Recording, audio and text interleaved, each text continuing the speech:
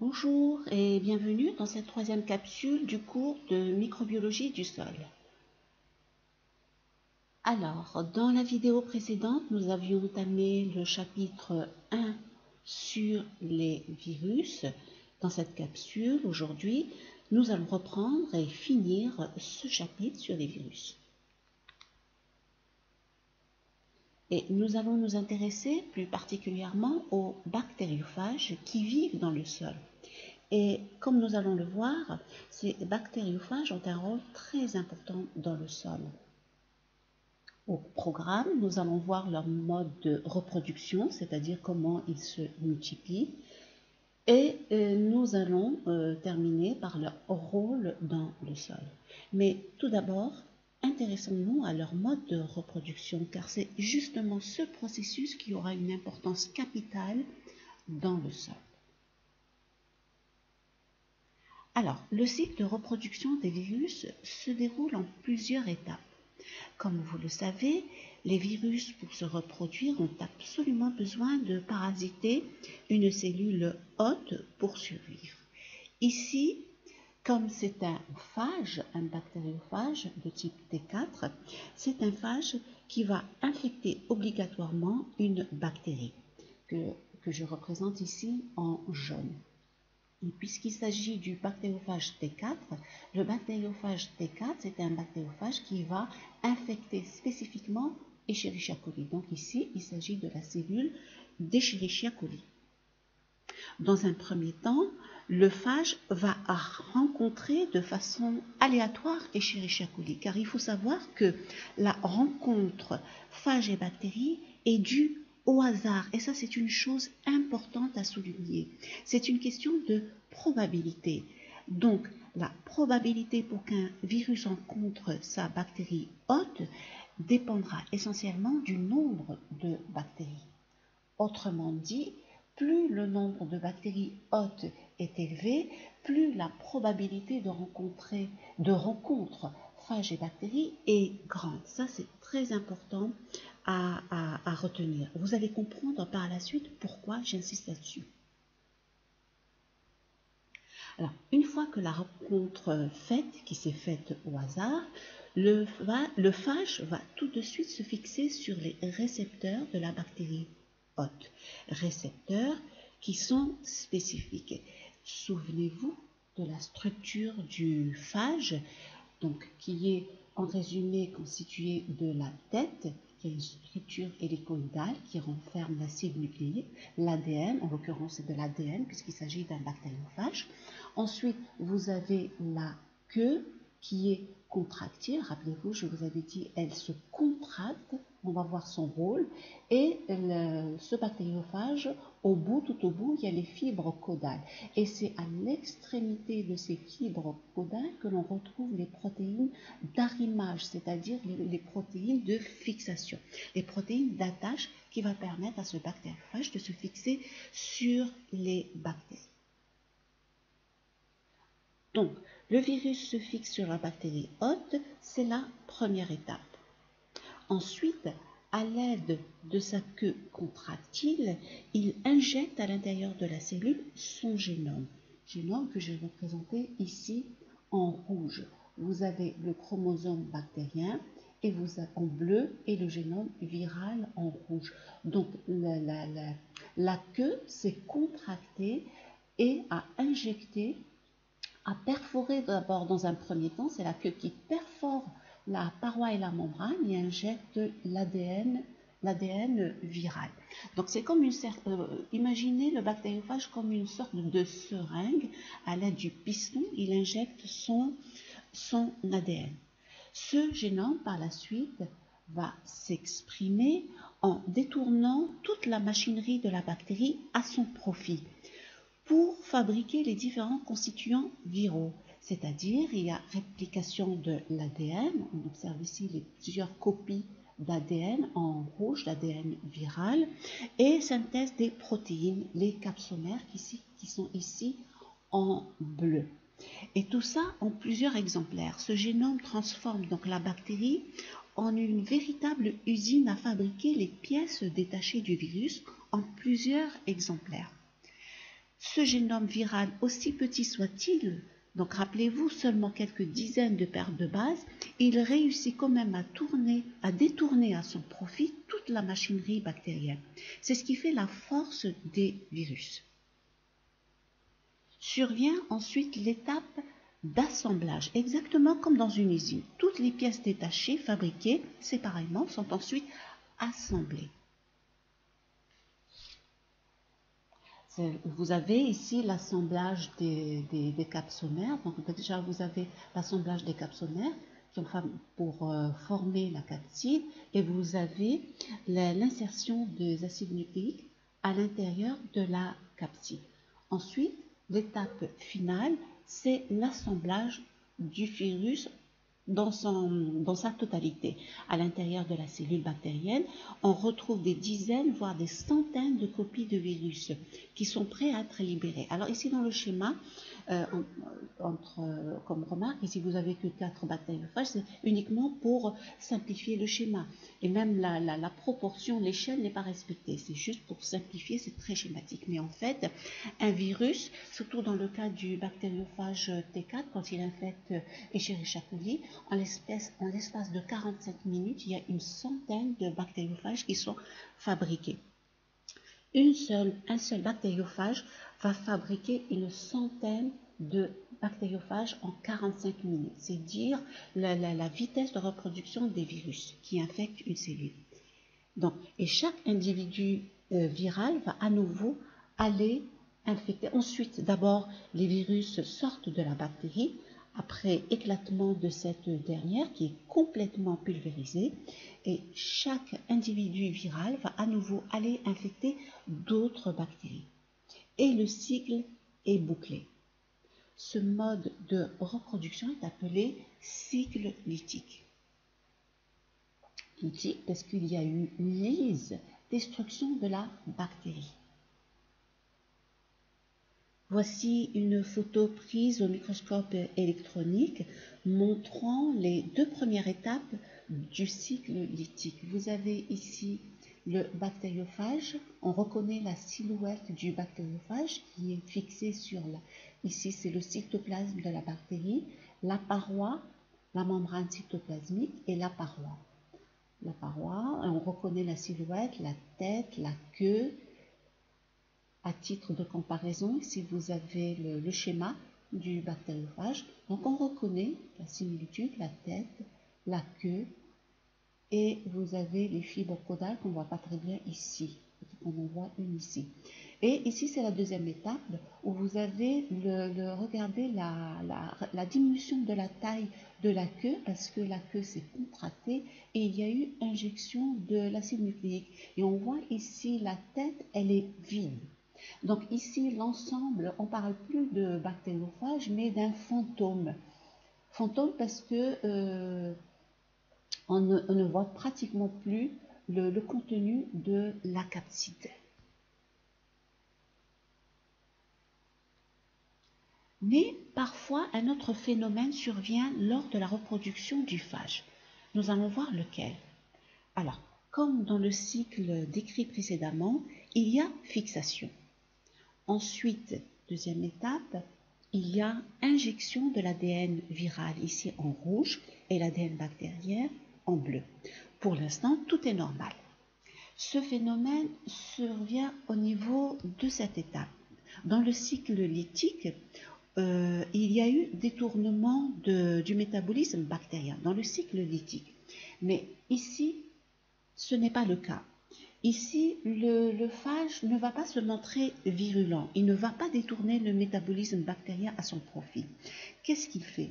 Le génome viral intègre le génome bactérien. C'est plutôt la bactérie qui a intégré le génome euh, bactérien. Ici, la bactérie s'est montrée plus maligne. Elle a intégré le génome bactérien dans son chromosome. Et on ne parle plus de phage. ici, en bleu, l'ADN viral qui a intégré l'ADN bactérien. On ne parle plus de phage, on parle de prophage. Donc, je reprends le schéma précédent. Je schématise l'ADN bactérien en bleu et le génome viral en rouge qu'on appelle prophage. Et qu'est-ce qui arrive? La bactérie n'étant pas lysée, elle continue à vivre normalement et à se multiplier. Ainsi, le prophage dont l'ADN est intégré dans le chromosome bactérien, qu'est-ce qu'il fait? Lui aussi, il se multiplie en même temps que la bactérie. Ici, c'est un autre mode de, réplication de l'ADN. Tout à l'heure, dans le cycle lithique, il avait un mode de reproduction de type lithique.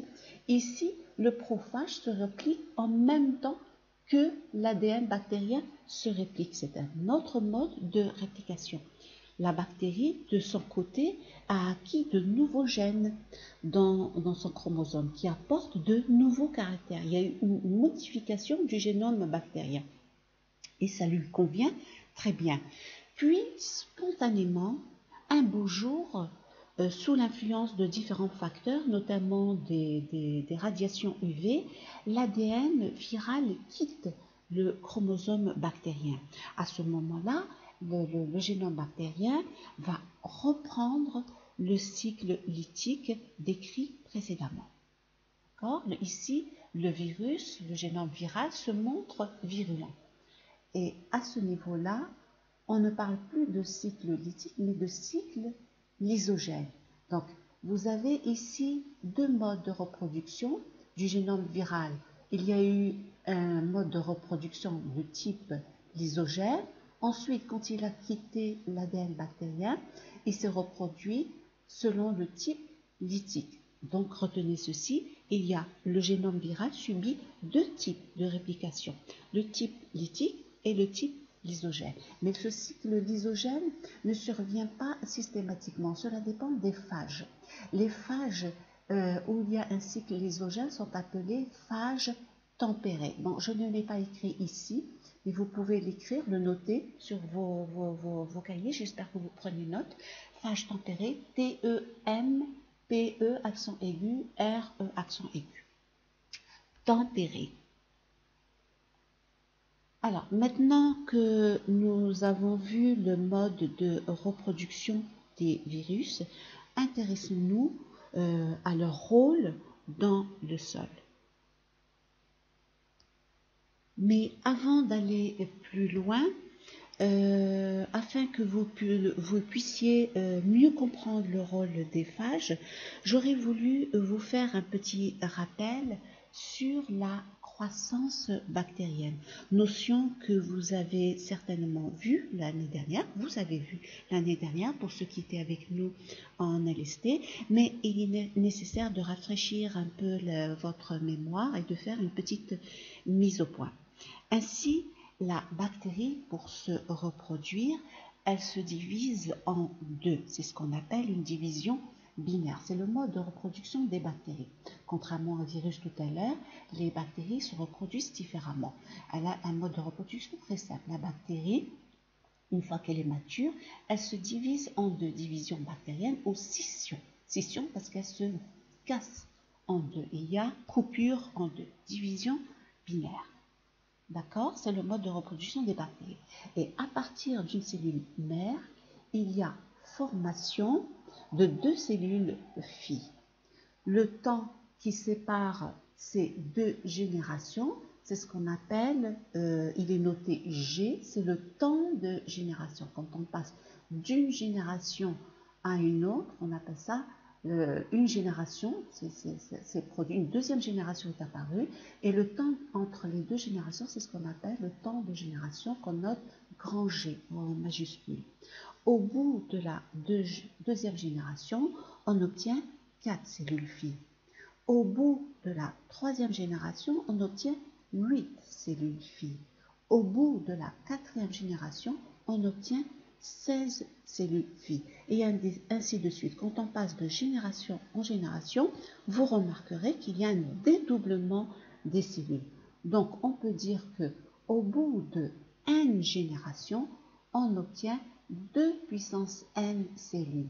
2 parce qu'il y a un dédoublement de générations. Et n, c'est le nombre de générations. Donc, au bout de n générations, on peut facilement calculer le nombre de cellules filles obtenues.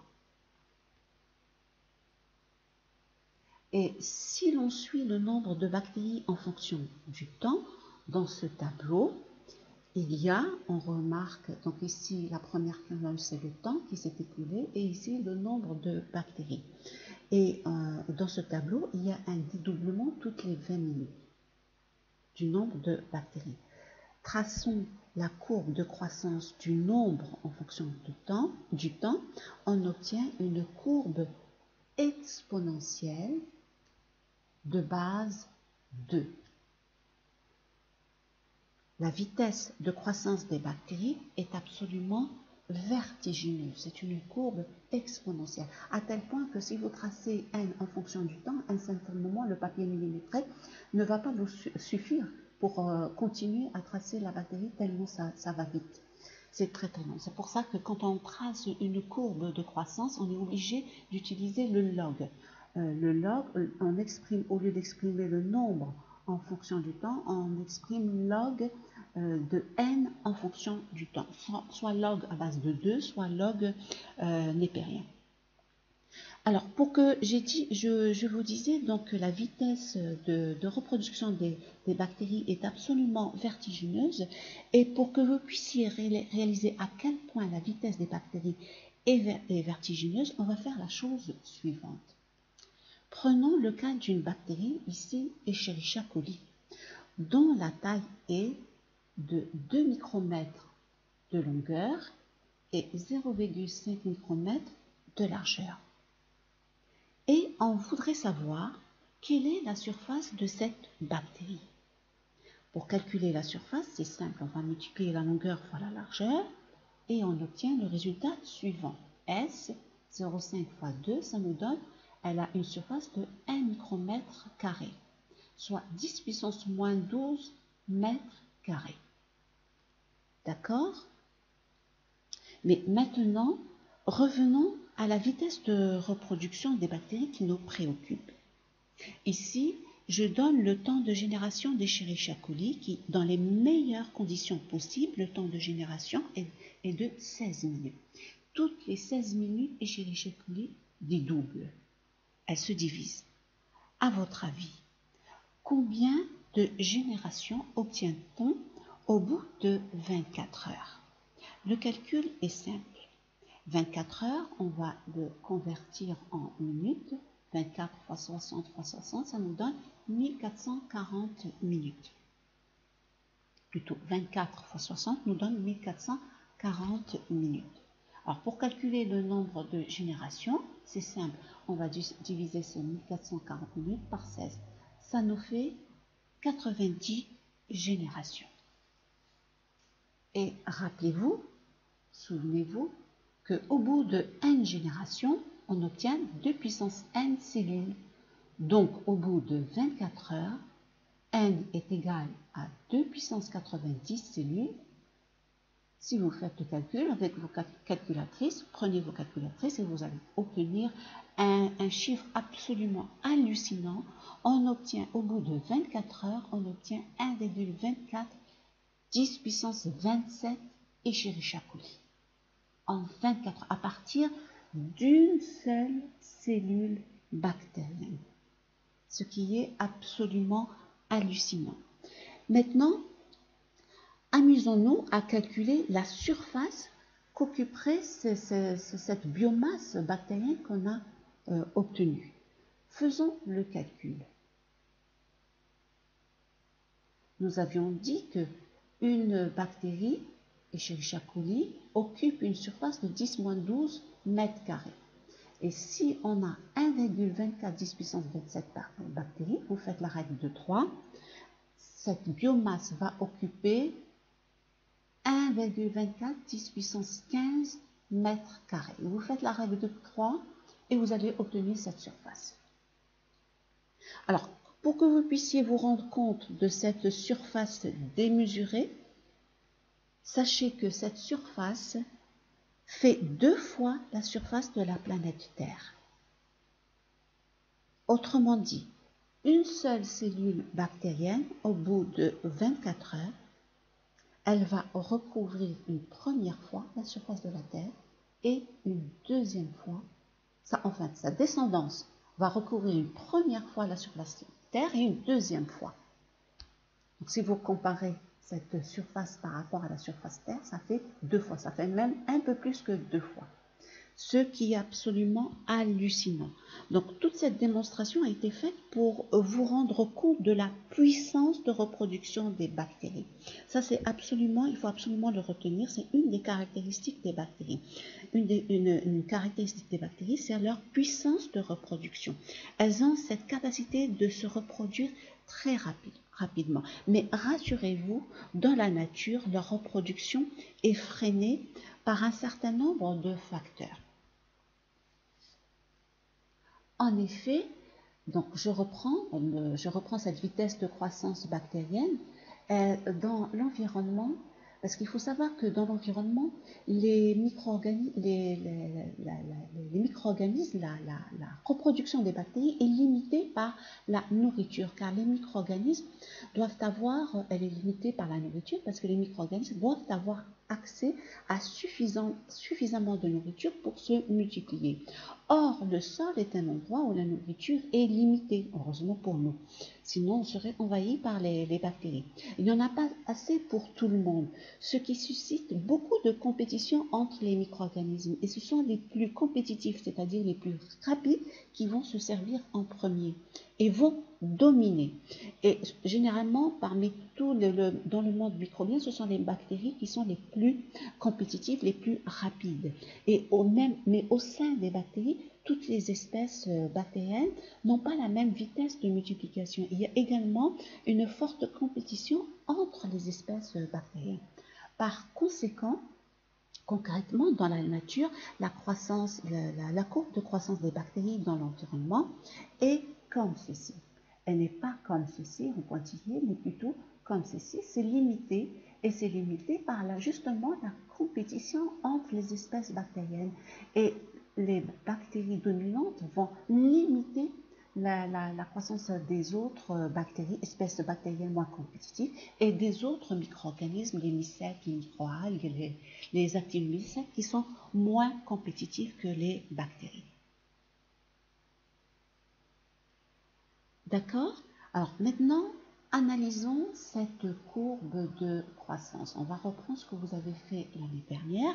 Je vous ai dit, si on, veut tracer la courbe de croissance, on ne va pas tracer n en fonction du temps, mais log de n en fonction du temps pour que la, puisse, pour que la courbe puisse entrer entièrement dans votre, dans votre fait. Alors, prenons par exemple euh, prenons des conditions de laboratoire où on, a un milieu de culture qui est riche. On apporte toute la nourriture nécessaire aux bactéries. On va ensemencer ce milieu et expérimentalement, on va suivre le nombre en fonction du temps. Donc, il y a plusieurs méthodes hein, de, suivre le, le nombre. Soit la méthode directe, on fait un comptage on fait des observations au microscope toutes les, par exemple, 16 minutes, supposons pour Escherichia coli, on ensemence Escherichia coli, et toutes les 16 minutes, on calcule le nombre de bactéries qu'il y a.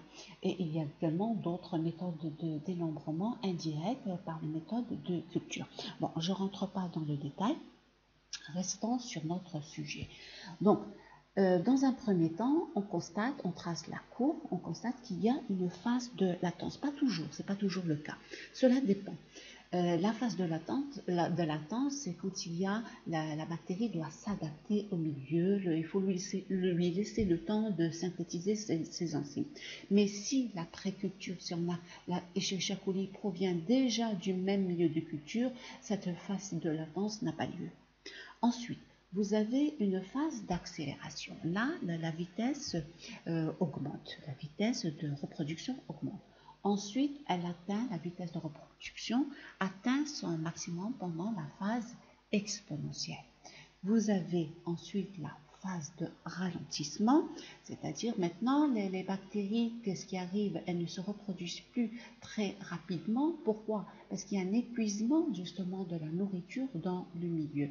Ensuite, vous avez une phase stationnaire, elles ne se divisent plus, ou bien il y a autant de bactéries qui meurent que de bactéries qui se multiplient. Ensuite, et je ne l'ai pas tracé, il y a la phase de déclin. Pourquoi? Parce qu'il y a eu un épuisement de, la nourriture dans le milieu. Et à l'œil nu, à ce stade-là, la culture microbienne est très dense. Il y a un nombre important de bactéries dans les milieux. Donc ici, c'est trop riche en bactéries. D'accord? Donc ici, je délimite. Je délimite la phase exponentielle de la phase de ralentissement. Donc la phase de ralentissement a lieu quand le nombre de bactéries est très élevé dans le milieu. D'accord? Alors rappelez-vous que euh, la phase, la, vitesse de croissance au niveau de la phase exponentielle, on la calcule ainsi. On calcule la pente. La pente, c'est quoi? C'est, vous prenez les, ordonnées, log de n1 moins log de n2, ensuite vous divisez par l'écart de temps. On a la pente. Et à partir de cette pente, vous calculez le taux de croissance. Le taux de croissance, c'est K divisé par log de 2. Donc ce, ce 2 vient du fait que la bactérie euh, effectue une division binaire. Il y a un dédoublement de la, la, bactérie. Et ici, donc ici, le taux de croissance est à son maximum, elle est constante, donc ça se multiplie, elle est constante, mais à partir quand le, nombre de bactéries devient très élevé, qu'est-ce qu'on remarque? La pente, elle, diminue. Et au fur et à mesure que le nombre de bactéries augmente, la pente diminue. Donc, qu'est-ce que ça veut dire? Quand le nombre de bactéries est trop élevé dans un milieu, y compris, ici il s'agit dans un milieu de culture, mais c'est la même chose dans un, sol, quand le nombre de bactéries est trop élevé, le, taux de croissance diminue. Et qu'est-ce que ça veut dire quand une bactérie se développe lentement? Ça veut dire que son activité diminue également. Donc ça, c'est très important à, comprendre. Quand le nombre de bactéries est trop élevé dans un milieu, l'activité bactérienne diminue. Et c'est exactement ce qui se passe dans le sol. Pour améliorer la fertilité du sol, il faut favoriser l'activité bactérienne dans le sol, parce qu'on le verra par la suite. Les bactéries ont une activité, euh, leur activité fertilise le sol. Donc nous, dans un sol, pour qu'un sol soit fertile, il faut que l'activité bactérienne dans le sol soit très importante. Et pour favoriser son activité, qu'est-ce qu'il faut faire? Il faut réduire le nombre de bactéries dans le sol. Sinon, vous allez euh, diminuer leur activité. Donc, ramener, il faut ramener le nombre de, bactéries à un nombre plus raisonnable. Et vous l'aurez deviné, qu'est-ce qui va se charger de réduire cette population euh, bactérienne? Ce sont les bactériophages. Donc ici, je reprends, hein, pour stimuler l'activité bactérienne dans le sol, il ne faut pas que la population bactérienne soit trop importante. Et qui va réduire le, nombre de bactéries, ce sont les bactériophages qui vont détruire une bonne part des bactéries. Et rappelez-vous, nous avions dit que plus le nombre de bactéries hôtes est élevé, plus la probabilité de rencontre phage et bactéries est grande. Donc ici, euh, quelles sont les bactéries qui vont être le plus détruites? Ce sont justement les bactéries dominantes. Donc, il ne faut pas qu'il y ait euh, une dominance de certains micro-organismes par rapport aux autres. Sinon, les micro-organismes les moins compétitifs ne vont pas pouvoir s'exprimer et se développer.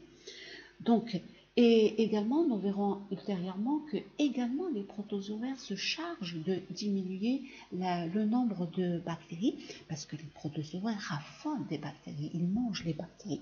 Donc, ils se chargent avec plaisir de diminuer cette population bactérienne qui est dominante.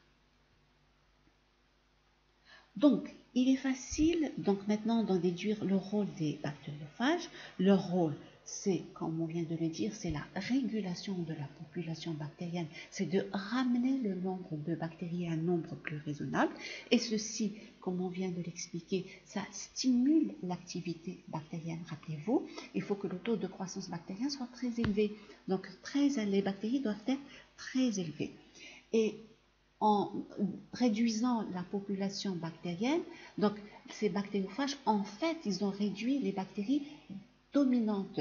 Donc ces bactéries dominantes n'ont plus lieu, n'a plus lieu, donc elles ne vont plus inhiber les, les micro-organismes les moins compétitifs. Qu'est-ce que ça veut dire? Ça veut dire que ça va permettre de maintenir la biodiversité toutes les espèces microbiennes vont pouvoir euh, se, développer aisément et pouvoir s'expliquer, euh, s'exprimer, euh, pardon. Car chaque individu aura un rôle important dans la fertilité du sol. Il faut absolument maintenir la biodiversité des micro-organismes dans le sol. Donc il n'y aura plus cette dominance des bactéries sur les autres micro-organismes. Donc, avec ces deux rôles des phages, vient s'ajouter un troisième rôle tout aussi important. Pour le comprendre, nous allons reprendre le cycle d'isogène des, phages. Alors, supposons euh, qu'au départ, la cellule bactérienne qui va être infectée, on va l'appeler la souche A. D'accord? Et supposons que cette infection se fasse selon un cycle d'isogène. Donc, on est à ce niveau-là. Donc, je saute ici les, étapes, hein, j'ai sauté cette étape, on se retrouve à ce niveau-là. Donc, ici, vous avez le chromosome bactérien et le prophage. D'accord? L'ADN euh, euh, viral a intégré le chromosome bactérien. Puis, au bout de... Euh, puis, supposons que ce prophage de l'ADN bactérien, donc on se retrouve ici, donc il entame le cycle lithique, mais supposons parfois de remarquer que le phage, l'ADN viral a arraché un bout du chromosome bactérien, qui est ici en bleu. Ensuite, vous aurez formation des, phages, il va se reproduire, donc ici, il y a multiplication, euh, multiplication reproduction des phages, et on se retrouve avec un bactériophage qui, dans sa capside, possède son génome initial avec un bout du génome de la souche A. Et ce phage, pour se reproduire, qu'est-ce qu'il va faire? Il va euh, infecter une autre souche, souche bactérienne qu'on va appeler la souche B, dont j'ai représenté le génome en noir. Et bon, j'ai sauté cette étape, le cycle d'isogène. À nouveau, le, génome viral a intégré le génome bactérien. Donc ici, on se retrouve en rouge le génome viral. Ici, en bleu, le génome, un bout de, génome de la souche A. Et en noir, le génome de la souche B. Donc faites attention, euh, il y a une différence entre souche et espèce. Ici, il s'agit de la même espèce mais c'est une souche B. Donc, qu'est-ce qu'elle a fait, cette souche B, quand elle a acquis euh, d'autres gènes, gènes viral et un gène de la souche B Qu'est-ce que ça va provoquer? Ça Elle acquiert euh, plusieurs caractères à la fois, donc ça va provoquer la formation d'une nouvelle espèce qui est différente. Et ce phénomène, donc il y a eu transfert de gènes d'une souche A à la souche B. C'est ce qu'on appelle euh, via le, virus. C'est ce qu'on appelle la transduction.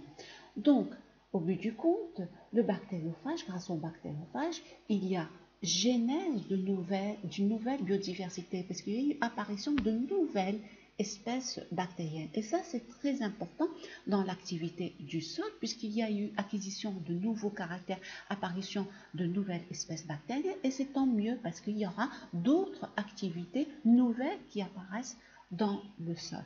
Donc, si on résume bien, le rôle des bactériophages dans le sol serait la stimulation de l'activité bactérienne, le maintien de la biodiversité et genèse d'une nouvelle euh, diversité. Donc, euh, ici, euh, donc là, on fera très attention, très attention de ne pas confondre maintien et genèse. Le maintien, en résumé, c'est les espèces les moins compétitives, compétitives ne, disparaissent pas, elles sont maintenues. Alors qu'ici, dans genèse, il y a apparition de nouvelles espèces. Ça, c'est très important de ne pas confondre. Donc voilà, là, vous aurez compris l'importance des bactériophages dans le sol. Cette capsule est terminée et je vous remercie.